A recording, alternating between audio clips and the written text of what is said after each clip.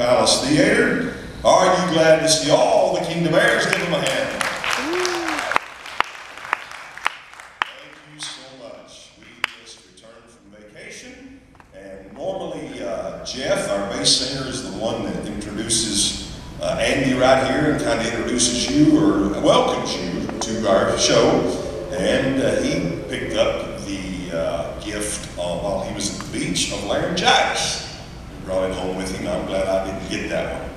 But so we're uh, making do today, and we're just glad that Jeff's got just a little bit of a voice to be able to sing. He can't talk, you know, we might actually start enjoying that.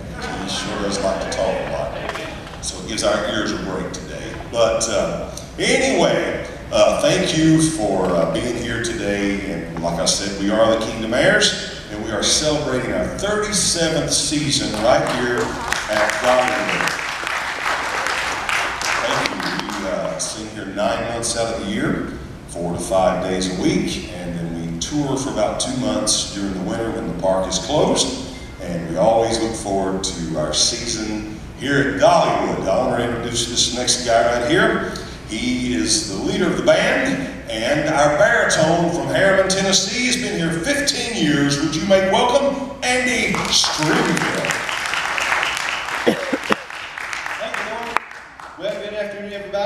To see such a good crowd here this afternoon. We've had some great crowds here lately, uh, which is kind of amazing because I don't know if y'all noticed that uh, gas prices are a little bit high. Yeah, you noticed that? Yeah, I did want to let you know a little secret though. I'm, I'm sure we have a lot of folks from out of town. We kind of have a hidden gem here in town. Yesterday evening, I got gas for $1.89. Taco Bell. Mexican people's back, baby.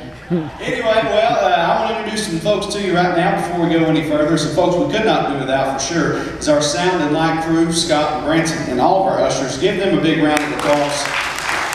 They work so hard behind the scenes. Narrow that to 10 or 11 songs and we actually record it. The way we do that, if the song ministers to us, then it will minister to you. It has to minister to us first.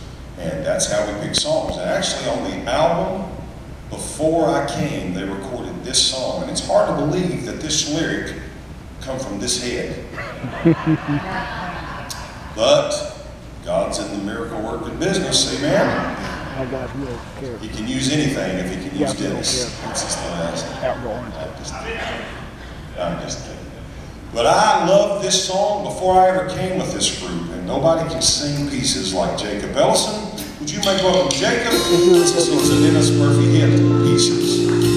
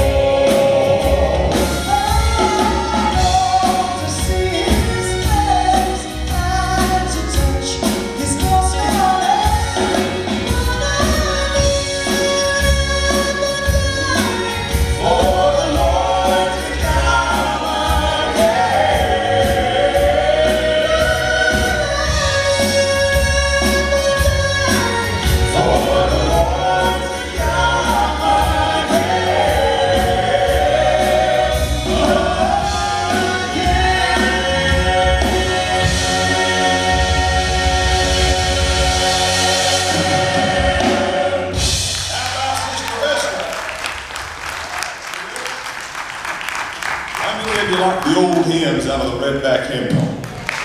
I'll have Jacob come and sing one right here for you. I hope you enjoy this.